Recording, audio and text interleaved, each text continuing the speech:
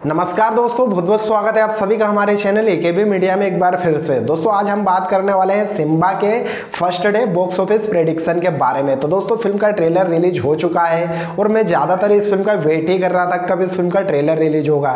क्योंकि मैंने जब से टेम्पर देखी थी और इस फ़िल्म का अनाउंसमेंट हुआ था कि रोहित शेट्टी टेम्पर का रीमेक बना रहे हैं रणवीर सिंह को लेकर तो मुझमें काफ़ी ज़्यादा एक्साइटमेंट थी कि भैया देखते हैं जूनियर एनटीआर ने जो कमाल किया था वो रणवीर सिंह कर पाते हैं या नहीं। दोस्तों, इस बारे में में बात करूँ तो कहीं ना कहीं मुझे लगा कि रणवीर सिंह ने बेस्ट परफॉर्मेंस दिए, लेकिन एनटीआर की बात अपनी जगह थी तो दोस्तों, अब फ़िल्म का ट्रेलर देख के सभी के मन में एक सवाल है कि दोस्तों, ये फ़िल्म रिलीज़ होने वाली है अट्ठाईस दिसंबर को, यानी ज़ीरो के एक हफ़्ते बाद। तो क्या ये फ़िल्म बॉक्स ऑफ़िस पर सर्वाइव कर पाएगी या नहीं? इस फ़िल्म का बॉक्स ऑफ़िस कलेक्शन क्या हो सकता है और ये फ़िल्म हिट होगी या नहीं? तो दोस्तों, आपको बता दो कि फ़िल्म एक हफ़्ते बाद रिलीज़ हो रही है और आज के टाइम में जो बड़ी बड़ी फ़िल्में हैं, वो एक हफ़्ते के अंदर ही निपट जाती हो। फिर चाहे रेस थ्री हो या ठग्स ऑफ़ हिंदुस्तान हो। तो ज़ीरो से क्या उम्मीद करे वो तो मुझे कुछ पता नहीं है क्योंकि फ़िल्म का ट्रेलर देखने में ठीक ठाक लग रहा है और एंटरटेनिंग लग रहा है, लग रहा है कि फ़िल्म हिट हो जाएगी। लेकिन बात करें सिम्बा की तो दोस्तों सिम्बा का ट्रेलर काफ़ी मास एंटरटेनिंग है। यानी कि सिंगल थिएटर में ये फ़िल्म चलना पक्का है, क्योंकि रोहित शेट्टी का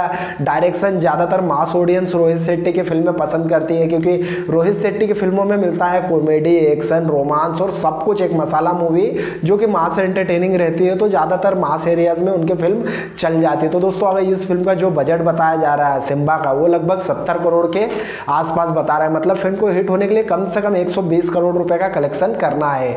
अब बात करें इस फ़िल्म के फ़र्स्ट डे कलेक्शन के। दोस्तों, इस फ़िल्म के जो स्क्रीन काउंट है, अभी तक की खबरों के माने तो इस फ़िल्म को रिलीज़ किया जाना है लगभग तीन हज़ार स्क्रीन पे।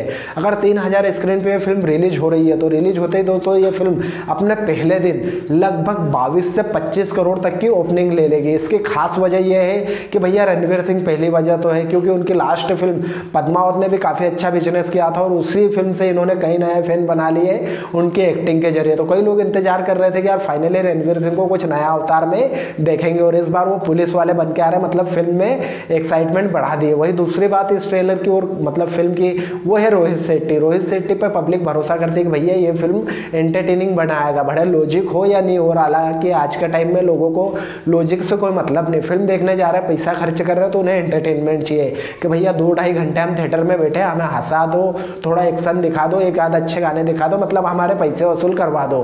तो वो रोहित शेट्टी की फ़िल्मों में रहता है। तो बनी सी बात है कि ये फ़िल्म को ओपनिंग अच्छी मिलेगी। लेकिन दोस्तों, तीसरी, हालाँकि बहुत इंपॉर्टेंट चीज़ है, लेकिन फ़िल्म वालों को शायद पता नहीं है। तीसरी इंपॉर्टेंट बात यह है कि फ़िल्म में है अजय देवगन का केमियो जी हाँ दोस्तों फ़िल्म के ट्रेलर में हमने देखा कि अजय देवगन का केमियो नज़र आ रहा है, वो एक सीन में भी दिखे, और ट्रेलर के नरेशन भी उन्होंने किए शुरू से वॉइस ओवर में। मतलब अजय देवगन का केमियो तो स्वाभाविक से बात है कि अजय देवगन के जितने फ़ैन हैं, वो तो भैया सिंगम को देखने जाएँगे ही जाएँगे, क्योंकि पिछले कई टाइम से सिंगम फ़िल्म को रिलीज़ हुए इतने साल हो चुके और अजय देवगन के फ़ैन सिंगम को बड़े पर्दे पे देखने के लिए तरस रहे अब भले उन्हें सिम्भा में उनका थोड़ा सा केमियो लेकिन उन्हें अपने सिंगम तो देखने को मिल ही जाएँगे। तो मतलब इस फ़िल्म को देखने रोहित शेट्टी के फ़ैन भी जाने वाले हैं, रणवीर सिंह के फ़ैन भी जाने वाले हैं और अजय देवगन के फ़ैन भी जाने वाले हैं। मतलब फ़िल्म की ओपनिंग बड़ी तगड़ी होगी।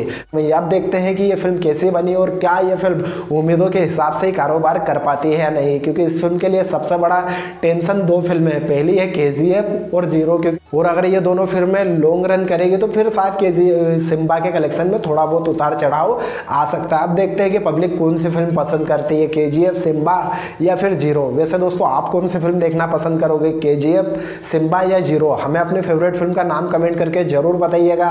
और साथ ही साथ बॉलीवुड और साउथ की हर एक नई अपडेट के लिए मेरे और आपके इस चैनल ए के बी मीडिया को सब्सक्राइब ज़रूर करिएगा। मैं मिलता हूँ आपसे अगले वीडियो में। जब तक के लिए ख्याल रखें अपना और अपने माता पिता का।